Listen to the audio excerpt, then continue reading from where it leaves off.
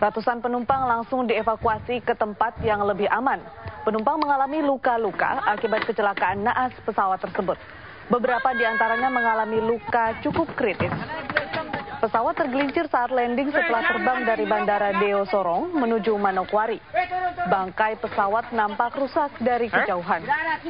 Salah satu mesinnya menghantam tanah dan mengeluarkan asap hitam. Seluruh penumpang saat ini dirawat di Rumah Sakit TNI Angkatan Laut dan RSUD Manokwari.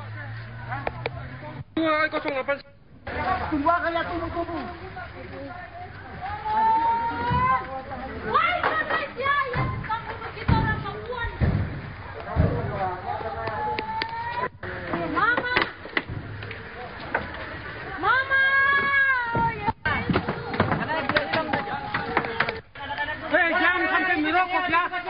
Eh, turun, turun.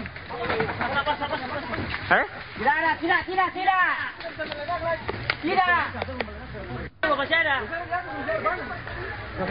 Masih ada, masih ada.